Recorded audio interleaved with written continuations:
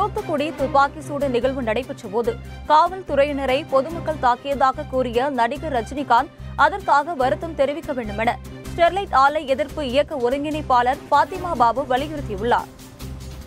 ஆஸ்பத்திரியில் கிடக்கிறவங்க மத்தியிலே போய் நின்றுக்கிட்டு அடி வாங்கி சூடுபட்டு ஆஸ்பத்திரியில் கிடக்கிறவங்க மத்தியிலே போய் இவர்கள் சமூக விரோதிகள் இவர்கள் தீவிரவாதிகள் காவல்துறையினர் அடிக்கப் போய் தான் இவர்கள் திரு காவல்துறையினர் அவர்களை சுட வேண்டிய சூழ்நிலை வந்தது என்று விவரமே தெரியாமல் சினிமா டயலாக் போல நிலைத்து கொண்டு யாரோ எழுதி கொடுத்த ஸ்கிரிப்டை அங்கே வந்து சொன்னார்.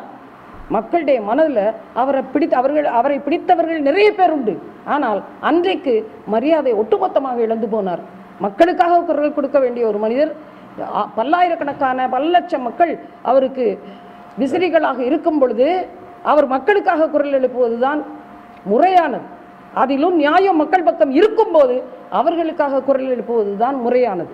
அது அதை எதிர்த்து எதிர்வினை ஆற்றிவிட்டார் என்பது மிக மிக வருத்தமான ஒரு விஷயமாக நாங்கள் பார்க்கின்றோம்.